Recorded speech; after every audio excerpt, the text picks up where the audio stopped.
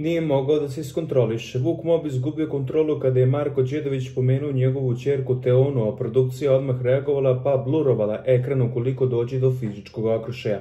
Nastavi pa ćeš videti kako ćeš proći, samo mi pominje dete, pomeni je još jednom ja te upozoravam, pretio mu je Vuk.